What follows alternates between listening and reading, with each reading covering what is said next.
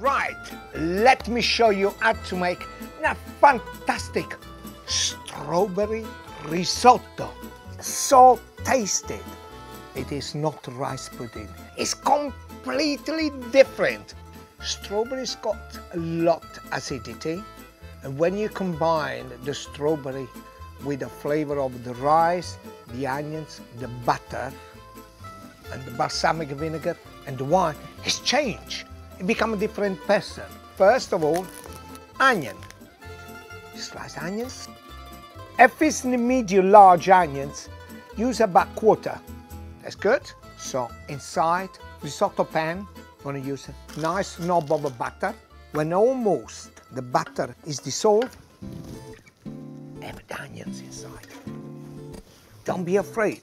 This is so simple to do it. Keep stirring. You sweat the onions. You do not burn the onions. Let me tell you the difference of a sweat and burn. Sweat when you're jogging. Wow, you're sweating. Burning when you go on holiday, you stay under the sun for three hours and you become a pepperoni. That is when you actually burn. So I sweated onions. That is fantastic indeed. Now get the rice. I'm gonna put about 200 grams of this fantastic risotto rice. Yes. Keep stirring it. Don't burn it. Hallelujah. The wine you're drinking is the wine you use it. Quarter of a glass of wine. You keep stirring it until the alcohol evaporates and the sweetness of the wine stays inside. When it's almost evaporated, yes, I've got fantastic stock. For two people, you have about four to 500 ml. Slowly, so first two and a half ladle of stock. Keep stir it because you want the rice to rub one against the other one together to get the lovely creamy.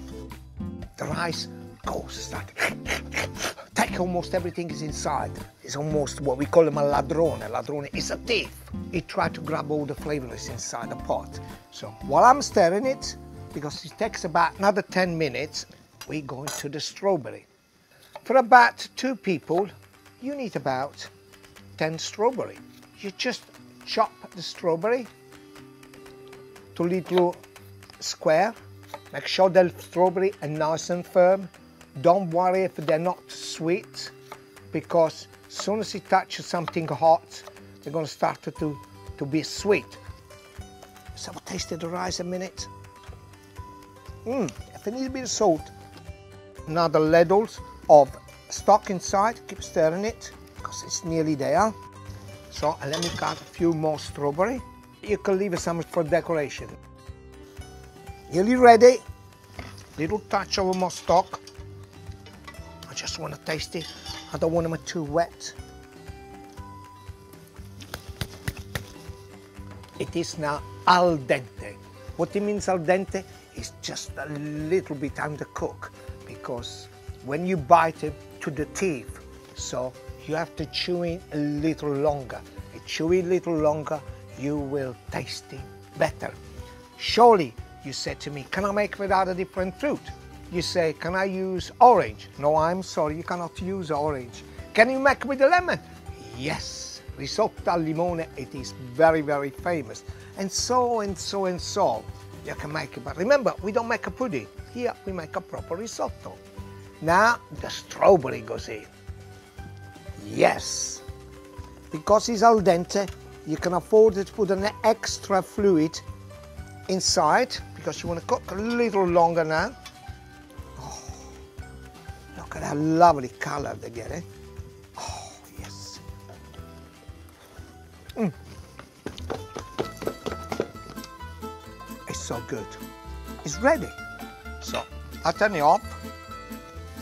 Nice little bit of a butter. Put about three tablespoons of a parmesan.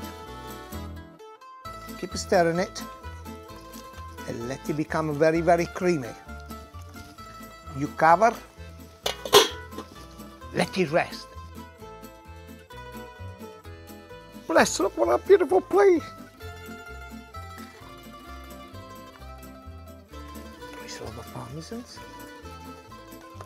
strawberry, a little drizzle of, of balsamic vinegar, not too much. Yes, can't wait.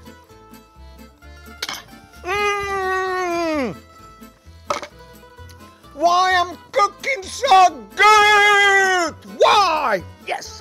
Why? Because all the best goes inside the pot. The pot in a plate, and from the plate to me, and to me is to you.